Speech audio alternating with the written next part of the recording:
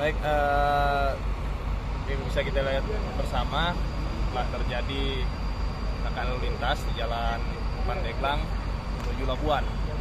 Yaitu kendaraan mobil tangki ya yang memuat BBM ya Iya. BBM jadi di- dari TKP kita lihat eh, mobil melaju dari arah Pandeglang menuju Labuan. Mungkin karena supir kehilangan kendali sehingga dia banting eh, setir ke arah kiri sehingga menabrak eh, kios atau rumah warga. Demikian. Dan ini eh, remblong apa seperti apa sih?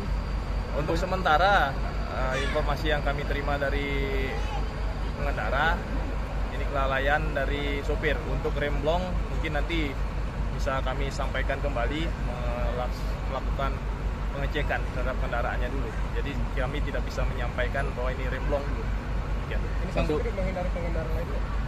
Nah, ada untuk dari saksi-saksi yang kita mintakan keterangan awal eh, tidak ada pengendara lain yang tertabrak atau tersenggol ya. Pure dia karena kehilangan kendali langsung banting setir ke kiri sehingga menabrak kios atau rumah. Korban nggak? Korban jiwa? Korban jiwa alhamdulillah tidak ada. Tapi dari di TKP ada dua orang yaitu ibu dan anaknya ya. Ibu dan Sedang anaknya yang sedang menunggu angkot. Kebetulan di- ada di lokasi dan menghindari mobil tersebut sehingga terjatuh dan luka lecet saja.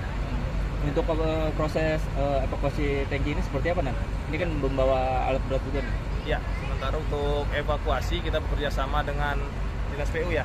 Dinas PU, Damkar, BD, kemudian dan apalagi yang ada menunggu pihak Pertamina juga. menunggu pihak Pertamina sendiri eh, agar mengamankan dulu karena ini ada bahan bakar di dalamnya biar bisa kita langsung evakuasi dan amankan. Ya. Bang ini pertalit atau pertamak sih yang ada di dalamnya? Lalu